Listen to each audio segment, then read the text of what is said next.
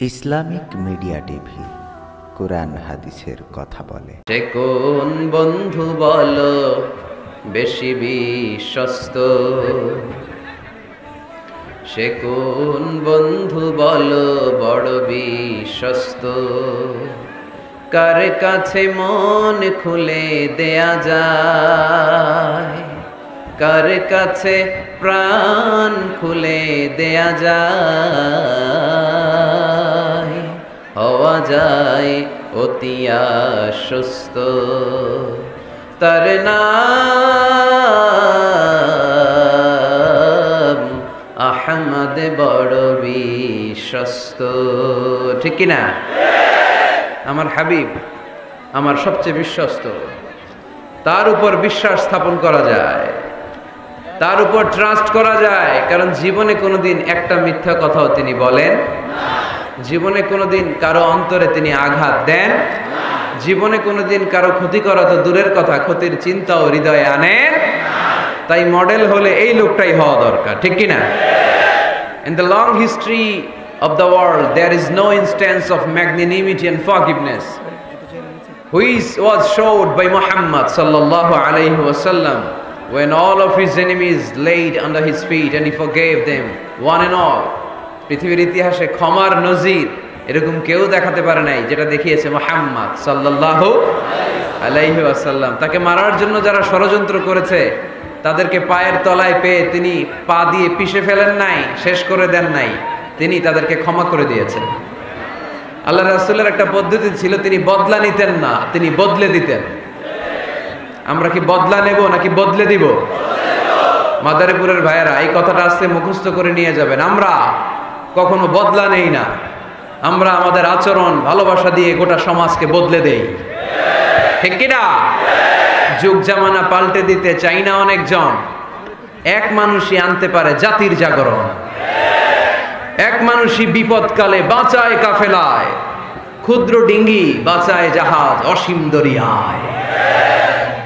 এজন্য সমাজ পরিবর্তনের জন্য হাজার হাজার লোক দরকার নেই, একটা ওমরের দরকার।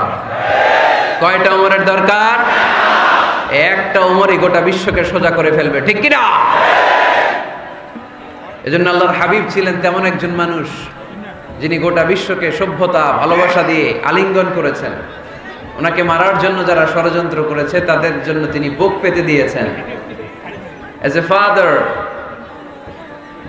as a teacher as a commander as a law giver as a law maker As a reformer of the society, as a messenger, Muhammad is the superman of the world. স্বামী হিসেবে বাবা হিসেবে মানুষ হিসেবে নেতা হিসেবে নবী হিসেবে তিনি গোটা বিশ্বের জন্য একজন সুপারম্যান যার পরশ পেলে যার সোনালী পরশ পেলে কাফেরগুলো কালিমা পড়ে মুসলমান হয়ে যায় যার নুরানি চেহারা দেখলে নাস্তিকগুলো মুহূর্তেই আস্তিক হয়ে যায় যার কণ্ঠের সমুদুর ঝংকারের তেলাওয়াত শুনলে মানুষগুলো পাগল পাড়া হয়ে যায়। এজন্য মডেল হলে তিনি আমাদের মডেল। শাহরুখ খান, আমির খান, সালমান খান। কোন ক্রিকেটার, কোন নায়ক, নায়িকা, গায়ক, গায়িকা, সেলিব্রিটি আমাদের মডেল নয়। আমাদের মডেল হচ্ছে মোহাম্মদ সাল্লাল্লাহু আমাদের সেলিব্রিটি হচ্ছে মোহাম্মদ সাল্লাল্লাহু। We are the follower of Muhammad we are the fan club of Muhammad আমরা সবাই আল্লাহর হাবিব মোহাম্মদ ইসলামের ফ্যান আমরা সবাই আল্লাহর হাবিব মোহাম্মদ ইসলামের ফলোয়ার ঠিক কিনা? ওনার ফলোয়ার হয়েই আমরা শেষ নিঃশ্বাস ত্যাগ করতে চাই। পৃথিবীর কোন শক্তি ওনার প্রতি ভালোবাসা, আস্থা আর বিশ্বাস আমাদের অন্তর থেকে এক ইঞ্চিও কমাতে পারবে না। উনি জানিয়ে এসেছেন, এতে কল্যাণ, এতে বরকত এজন্য আল্লাহ একটা গাইডলাইন দিলেন আমাদেরকে, বললেন ওমা আতাকুম রাসূলু ফাখুযুহু ওমা নাহাকুম আনহু ফাংতাহু তোমাদের হাবিব, যাদেরকে তোমরা ফলো করো, তোমাদের প্রিয় নবী দ্য লাস্ট মেসেঞ্জার মোহাম্মদ সাহ ইসলাম তিনি হচ্ছেন তোমাদের মডেল তাই তিনি যা নিয়ে এসেছেন সেটা ধরো, আর তিনি যা নিষেধ করেছেন সেটা ছাড়ো। কথাটা কার? আমি প্রশ্ন করি আপনারা উত্তর দেন। আল্লাহর হাবিব যা নিয়ে এসেছেন সেটা ধরো। সেটা কি? আর তিনি যা নিষেধ করেছেন সেটা ছাড়ো। Whatever he brings with take it whatever he forbids abstain from it যা তিনি নিয়ে এসেছেন, ধরো। যা তিনি নিষেধ করেছেন, ছাড়ো। তিনি আমাদের মডেল তার ভালোবাসা যদি অন্তরে থাকে, আমাদের ভালোবাসবে কে? তাকে যদি অনুসরণ করি, আল্লাহর ভালোবাসা আমাদের জন্য আছে না নাই? এজন্য রাব্বুল আলামিন বলেন কুলিং কুনতুম تحبون الله فاتبعوني يحببكم الله ويغفر لكم ذنوبكم والله غفور رحيم আল্লাহ কে যে পাইতে চায় হজরত কে ভালোবেসে আরশ কুরসি লৌহ কালম না চাইতে পেয়েছে সে। ঠিক না রসুল নামে রশি ধরে যেতে হবে আল্লাহর ঘরে। নদী তরঙ্গে যে পড়েছে ভাই, দরিয়াতে সে আপনি মেশে। হজরতের অনুসরণে আরশ কুরসি লৌহ কালম না চাইতে পেয়েছে সে। ঠিক না? আল্লাহর হাবিবের অনুসরণ করলে আরশ কুরসি, লৌহ কালাম সব আপনার হয়ে যাবে। এজন্য আমরা যাকে অনুসরণ করব তার নাম মোহাম্মদ। তার নাম মোহাম্মদ সাল্লাল্লাহু আলাইহি ওয়াসাল্লাম। এই আমাদের মডেল যিনি, আমাদের প্রিয় হাবিব যিনি তার ব্যাপারে আমাদের স্বচ্ছ, সুন্দর, পরিচ্ছন্ন এবং ক্লিয়ার ধারণা এবং আকিদা বিশ্বাস থাকার দরকার আছে না নাই? আজকের এই চমৎকার সকালে আমরা আমাদের প্রিয় হাবিব, আল্লাহ রাসুল সাল্লাহ সম্পর্কে কোরআন কি বলেছে সেটা জানার চেষ্টা করব ইনশাল্লাহ বলেন। এবং এই কথাগুলো অন্যদের কাছে পৌঁছে দেওয়ার চেষ্টা করব। পর্দার আড়ালে মায়েরা, বোনেরা, আপনারা যারা শুনছেন, আপনারাও আপনাদের ছেলে মেয়েদেরকে শিখাই দেন, বাবা who is your super hero who is your model তুমি কি জানো তোমার মডেল কে? তোমার সুপার হিরো কে? তোমার প্রিয় নবী কে? বাচ্চাদেরকে এই গল্পগুলো শোনাবেন বাচ্চাদেরকে এখন থেকে বিষ্ণু ইসা ইসলামের ফ্যান বানায় দিতে হবে। আল্লাহর হাবিবের ফলোয়ার বানায় দিতে হবে। যাতে করে পাহাড় সম কোনো বাধা বিপত্তি আসলেও বিশ্বনবীর ভালোবাসার ব্যাপারে আমাদের প্রজন্ম এক বিন্দুও ছাড় দেয় না। চিল্লা এখন ঠিক কিনা? আমরা এই আল্লাহর কিতাব কালামুল্লাহ মাজিদের আলোকে জানব যে কালামুল্লাহ মাজিদ কীভাবে আমাদের এই মডেল আমাদের প্রিয় নবীর পরিচয় দিয়েছে। কোরআনকে যদি আমরা জিজ্ঞেস করি, কোরআন, তুমি আমাদেরকে, আমাদের প্রিয় নবীর পরিচয় আমাদের সামনে তুলে ধরো। দেখবেন কোরআন একের পর এক, একের পর এক সহজভাবে আমার প্রিয় নবীর পরিচয় আমাদের সামনে তুলে ধরেছে। দেখুন কোরআন কীভাবে বিশ্বনবীর পরিচয় আমাদের সামনে তুলে ধরে। যদি জিজ্ঞেস করি কোরআন আমার নবীর পরিচয় দাও কোরআন বলে আমার নবীর প্রথম পরিচয় হচ্ছে তিনি হচ্ছেন রসুল্লাহ সাল্লাহ আলহি আসাল্লাম তিনি কি রসুল্লাহ সবাই বলেন তিনি কি محمد رسول الله والذين معه أشداء على الكفار رحماء بينهم কোরআন প্রথম যে পরিচয়টা আমাদের সামনে তুলে ধরলেন, কোরআন বলল মোহাম্মদ ইসলামের প্রথম গুণ তিনি হলেন রাসূলুল্লাহ। তার সাথে যারা থাকে তারা কাফেরদের ব্যাপারে বজ্র কঠোর, মুমিনদের ব্যাপারে পুষ্প কোমল মোহাম্মদুর রসুল্লাহ পড়েন, মোহাম্মদুর রসুল্লাহ তাহলে কোরআন বিষ্ণবীর প্রথম পরিচয় দিল, তিনি হচ্ছেন রসুল্লাহ তিনি কি? আল্লাহর রসুল, আল্লাহর বাণীবাহক আল্লাহর বার্তাবাহক আল্লাহর বার্তা, আল্লাহর মেসেজ আল্লাহর বাণীকে তিনি আমাদের কাছে পৌঁছে দেন, ঠিক কিনা? এবং কোরআন এটাও জানান দিল যে, এর চেয়ে বড় দামি টাইটেল পৃথিবীতে নাই, আছে? রাসুল্লাহর চেয়ে বড় টাইটেল আছে? আপনি চেয়ারম্যান বলেন এমপি বলেন, বড় বিজনেস ম্যাগনেট বলেন সিআইপি বলেন ভিআইপি বলেন, এটা কি রাসুল্লাহর চেয়ে বড় টাইটেল সবচেয়ে বড় টাইটেল রাসুল্লাহ এর কারণ কেউ চাইলে রাসুল্লাহ হতে পারে না। আমরা সবাই মিলে যদি একজনের ভোট দিয়ে মাদারীপুরে আল্লাহ রাসুল বানাইতে যাই, উনি তো রাসুল হয়ে যাবে, তাই না? আমরা সবাই ভোট দিলে হবে না? আচ্ছা জিন জাতিরা যদি আমাদের সাথে একাত্মতা ঘোষণা করে, যে আমরাও দিলাম, জিনেরাও দিল। ফেরেশতারাও যদি ভোট দেয় সাপোর্ট দিল। যে আমরাও সাপোর্ট দিলাম, তুমি রাসুল ভোট দিলাম হবে? কারণ রাসূল কখনো ইলেকশনে হয় না। রাসূল হয় সিলেকশনে সিলেক্ট করেন কে? আল্লাহ আ'লামু হাইসু ইয়াজআলু রিসালাতাহু। আল্লাহই ভালো জানেন কাকে তিনি রাসূল বানাবেন। তাই আল্লাহর রাসূল, এটা হচ্ছে আমার নবীর এক নাম্বার টাইটেল। সুবহানাল্লাহ পড়ে তবে তিনি নিজেকে রাসূল বলার আগে আল্লাহর দাস বা গোলাম বলে পরিচয় দিতেন। আউট অফ হাম্বলনেস কি বিনয়? বিনয় কাকে বলে? শিখে নেন। আমাদের মধ্যে এখন বিনয়ের বড্ড অভাব। রাজনৈতিক ব্যক্তিবর্গ বলেন, সামাজিক ব্যক্তিবর্গ বলেন।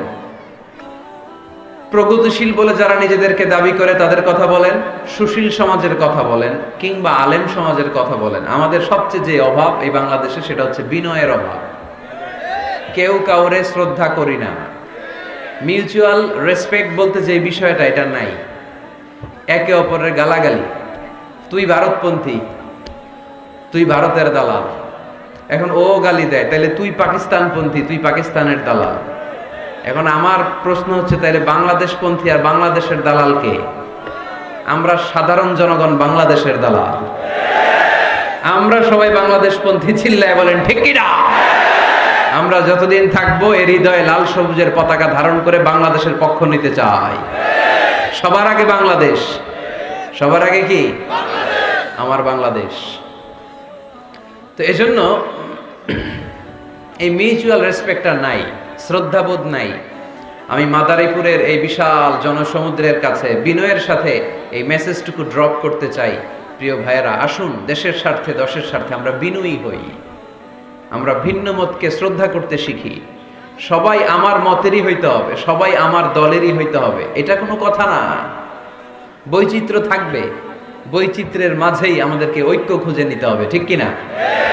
আমাদেরকে প্রচণ্ড একটা সিন্ডিকেট গড়তে হবে, ঐক্যের সিন্ডিকেট চিল্লায় বলেন, ঠিক কিনা? যাতে করে কোনো পরাশক্তি এই ঐক্যের সিন্ডিকেটকে ভেঙে দিতে না পারে। এটা সম্ভব যদি আমাদের পারস্পরিক সমঝোতা থাকে, বিনয় থাকে। আল্লাহর হাবিব কতটা বিনয়ী ছিলেন আউট অফ হাম্বলনেস বিনয়ের কারণে। উনি যে রাসূল, এটাও বলতেন না, আগে বলতেন, আমি আল্লাহর গোলাম। পরে বলতেন, রসুল। তিনি নিজের পরিচয় এভাবে দিতেন, ইন্নি আব্দুল্লাহি ওয়া রাসূলুহু। নিশ্চয়ই আমি আল্লাহর আব বা গোলাম, তারপরে আমি আল্লাহর রসুল। সুবহানাল্লাহ পড়ে। আল্লাহর হাবিব যখন আল্লাহর কাছে দোয়া করতেন, এতটা বিনয়ী হয়ে দোয়া করতেন, আল্লাহর হাবিব বলতেন, আল্লাহুম্মা ইন্নি আবদুক ওয়াবনু আবদিক ওয়াবনু আমাতিক। আল্লাহ, আমি আপনার গোলাম। শুধু আমি আপনার গোলাম নই, আমি গোলামের ঘরের গোলাম। আমি শুধু গোলাম না, আমি গোলামের ঘরের গোলাম, আমি বান্দির ঘরের গোলাম, আমার বাবা আব্দুল্লাহ আপনার গোলাম, আমার দাদা আব্দুল মোত্তালেবও আপনার গোলাম, আমার মা আমিনা আপনার গোলাম, আমার নানাও আপনার গোলাম। ঠিক কিনা? আমরা গোলামের ঘরের গোলাম, যিনি পৃথিবীর সর্বশ্রেষ্ঠ, তার চেয়ে শ্রেষ্ঠত্বের মানদণ্ডে কেউ উঁচু হতে পারে না। যিনি রসুল্লাহ যিনি হাবিবুল্লাহ, আল্লাহ হাবিবুল্লাহ টাইটেল কাউরে দেন সর্বোচ্চ যে টাইটেল একজনকে দিয়েছেন সেটা হচ্ছে খালিলুল্লাহ। কোন নবীকে? ইব্রাহিম আলহি সালামকে দিয়েছেন খালিলুল্লাহ। আর প্রিয় নবীকে দিয়েছেন হাবিবুল্লাহ। হাবিব মানেও বন্ধু, খালিল মানেও বন্ধু। কিন্তু খালিল মানে এমন বন্ধু যেই বন্ধু আল্লাহকে খুশি করার জন্য কাজ করে। আর হাবিব মানে এমন বন্ধু যেই বন্ধুরে খুশি রাখার জন্য স্বয়ং আল্লাহ নিজেই কাজ করে। তিনি হাবিবুল্লাহ। এত মর্যাদার অধিকারী হয়েও আগে নিজের পরিচয় দিতেন। ইন্নি আব্দুল্লাহি ওরসুল আমি আল্লাহর দাস। আমি আল্লাহর গোলাম। গোলামের ঘরের গোলাম। আল্লাহর হাবিব নিজেকে এত ছোট করেন। আর আমরা খালি দাপট দেখাই। আমার এলাকা, আমার টাকা, আমার পয়সা, সব আমার, সব আমি খেয়ে ফেলাম। দুই প্লেটের বেশি ভাত খেতে পারে না উনি সব খেয়ে ফেলাবে সব লাগবে ওনার এগুলো কপাল পড়া ঠিক কিনা তাহলে আল্লাহর হাবিবের জীবনের দুইটা ডাইমেনশন এক ডাইমেনশনে তিনি আব আল্লাহর গোলাম আরেক ডাইমেনশনে তিনি রসুল্লাহ তিনি কি এজন্য কোরআন বললাম আমা মুহাম্মাদুন ইল্লা রাসূলুন قد خلت من قبله الرسل মোহাম্মদ ইসলাম রসুল ছাড়া অন্য কিছু নন। ওনার আগে দুনিয়ার বুকে এরকম অনেক রাসূল দুনিয়া এসেছে, আবার চলে গিয়েছে। ওনার আসল পরিচয় হলো উনি আল্লাহর রাসূল। সুবান মাদারীপুরের ভাইরা তাহলে আমরা কোরআনের আলোকে জেনে গেলাম, আমার প্রিয় নবীর প্রথম পরিচয় তিনি রাসূলুল্লাহ। আওয়াজ করে বলেন ওনার প্রথম পরিচয় আলাইহি সাল্লাম। এরপর কোরআনকে যদি জিজ্ঞেস করি, তারপরের পরিচয়টা কি? বুঝলাম উনি নবী, উনি রাসূল। ওনার দ্বিতীয় পরিচয় কোরআন বলছে উনি শুধু রাসূল নন, উনি শেষ রাসূল। খাতামুন নবিগিন। প্রথমে জানলাম রাসূল, এরপর কোরআন জানায় শুধু রাসূল না, উনি শেষ রাসূল। সুবহানাল্লাহ পড়েন। মা আহাদিম মির রিজালিকুম ওয়ালাকিন রাসূলুল্লাহি ওয়া খাতামান নাবিয়্যিন মুহাম্মদ সাল্লাল্লাহু আলাইহি ইসলাম, তোমাদের কোনো ছেলেদের পিতা না? তিনি হলেন আল্লাহর রাসূল, তিনি হলেন খাতামুন নবীন। নবী আসার যে ধারাবাহিকতা সৈয়দনা আদম থেকে শুরু হয়েছিল, বিশ্বনবীকে পাঠানোর মাধ্যমে ধারাবাহিকতা চিরকালের জন্য আল্লাহ বন্ধ করে দিলেন। তিনি শেষ রাসূল, তারপরে কোনো রাসূল আছে? যদি কেউ দাবি করে বন্ড ঠিক কিনা? এরকম অনেক ভণ্ড পৃথিবীতে খুঁজে পাওয়া যায়। আল্লাহর হাবিবের জামানাতে মুসাইলামতুল কাদ্দাব নামে এক ভণ্ড এসে দাবি করেছে, মোহাম্মদ, নবী তুমি একা না, আমিও নবী। নাওজুবিল্লাহ পড়েন। তোমার অর্ধেক, আমার অর্ধেক। আমার অর্ধেক নবতী আমারে বুঝায় দাও। বিষ্ণু বললেন, তুই তো বড় ভণ্ড। তুই শুধু মুসাইলামা না, আজ থেকে তুই মুসাইলামাতুল কাদ্দাব, মিথ্যাবাদী মুসাইলামা। সে বিশ্বনবীকে কপি করতো। আমার হাবিব যা যা করতেন, এই বেয়াদবটা তাই তাই করতো। বিষ্ণু ইসা ইসলাম ছোট বাচ্চাদের মাথায় হাত বুলিয়ে দিলে বাচ্চাদের মাথায় চুল গজাতো, চুল বড় হয়ে যেত। সেও তার এলাকার বাচ্চাদের মাথায় হাত বুলাই দিলে চুল ওঠা তো দূরের কথা, বাচ্চাগুলো আজীবন টাক মাথা থাকতো। কপি করে বেশি একটা সুবিধা করতে পারেনি। আল্লাহর হাবিব কোনো গাছের মধ্যে দোয়া পরে ফু দিলে এটার বাম্পার ফলন হতো। আর এই বেয়াদব ফু দিলে মুহূর্তের মধ্যে গাছ মুইরা কাঠ হয়ে যেত। লোনা পানির কুয়াতে বিশ্বনবী কুলি কুলি করে ফেললে এটা মিঠা পানির কুয়া হয়ে যেত। আর এই বেয়াদবটা মিঠা পানির মধ্যে কুলি ফেলাইলে এটা লোনা পানি হয়ে যেত। বেয়াদবি। আল্লাহর হাবিবের সাথে বেয়াদবি করলে আল্লাহ সহ্য করে না, চিল্লায় বলেন, ঠিক কিনা? এখন একটা নাম শোনা যায়, মির্জা গোলাম আহমদ কাদিয়ানি। সে মারা গেছে অনেক আগে। নবীরা পবিত্র, নবীরা যেখানে মারা যায় জায়গাটাও পবিত্র। কিন্তু এই মির্জা গোলাম আহমদ কাদিয়ানি মারা গেছে টয়লেটের ভিতরে। খুব পবিত্র জায়গা, তাই না? টয়লেটের ট্যাঙ্কি ভেঙে নিচের ভিতরে পড়ছে। ম্যাথর এনে শিকল দিয়ে টেনে ওরে উঠানো যায় না। উঠাইতে গেলে ধপাস করে আবার পরে দুনিয়াতেও লাঞ্ছনা, আখেরাতেও লাঞ্ছনা। খবরদার, মুসলমান এ ব্যাপারে সচেতন। আমার নবীর পরে আর কোন নবী পৃথিবীতে আসবে আমার হাবিবের পরে আর কোন রাসূল পৃথিবীতে আসবে এজন্য আল্লাহর হাবিব বলছেন রাসূলা, আমার পরে কোনো নবী নাই, আমার পরে কোনো রাসূলও নাই।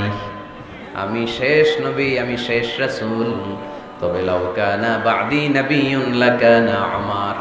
আমার পরে যদি নবী হওয়ার যোগ্যতা কারও থাকে, আমার সাহাবা উমরের সেই যোগ্যতা আছে। ঠিক কি না প্রভু তুমি বলেছ, রাসূল দেবে না। বলনি দেবে না ওমর, বলনি দেবে না হামজা তারিক, খালিদ বিজয় সমর। প্রভু তুমি বলেছ, রাসূল দেবে না। বলনি দেবে না ওমর, বলনি দেবে না হামজা তারিক, খালিদ বিজয় সমর। প্রভু তুমি বলেছ রাসূল দেবে না। ঠিক না রাসূল দেবে না, এটা আল্লাহর কথা, আর দেবে না। আল্লাহর হাবিব, তিনি হচ্ছেন শেষ রাসূল। এজন্য আল্লাহর হাবিব বলতেন, সহি মুসলিম শরীফের বর্ণনা, মাসালি মাসালুল আম্বিয়া মিন ক্বাবলি কামাসালি রাজুলিন বানা বাইতান। আমার দৃষ্টান্ত আর আমার আগের সব নবীদের দৃষ্টান্ত ওই ব্যক্তির মতো যে একটা ঘর বানিয়েছে। কি বানিয়েছে? ঘর। অনেক সুন্দর একটা ঘর বানিয়েছে। ইন্টেরিয়র ডিজাইন এত সুন্দর ঘর, কেউ দেখে নাই। সবাই ঘরটা দেখল আর প্রশংসা করল, বাহ, চমৎকার ঘর তো। এই ঘরের মধ্যে ভুল ধরার মতো কোনো জায়গা নেই, একটা জায়গা ছাড়া। সেটা হচ্ছে এই ঘরের একটা দেয়ালের গাঁথনিতে একটা ইট কম আছে, একটা ইট আসে নাই। ইটের জায়গাটা ফাঁকা, ফলে বাইরে ঠান্ডা বাতাস ভিতরে ঢুকে। এত দামি ঘর বানাইলেন, কিন্তু দেয়ালের এক জায়গায় একটা ইটা নাই ঠান্ডা বাতাস ঢুকলে এই ঘর দিয়ে কোনো লাভ আছে? শীতের রাতে কষ্ট আছে না নাই? আল্লাহর হাবিব বললেন, ওই ইটাটা হচ্ছে আমি মোহাম্মদ সাল্লাল্লাহু ওই গ্যাপের জায়গাটা আমি আনাল্লাবিনা আনাল্লাবিনা আনা খাতামুন নবিয়িন। আমি হচ্ছি ওই নবুয়তির দেয়ালের ওই গ্যাপের জায়গায় না রাখা ইটা। আমাকে যখন আল্লাহ ওই জায়গাটায় সেট করে দিলেন, গোটা বিশ্বটা আলোকিত হয়ে গেল পড়েন। সুবহানাল্লাহ।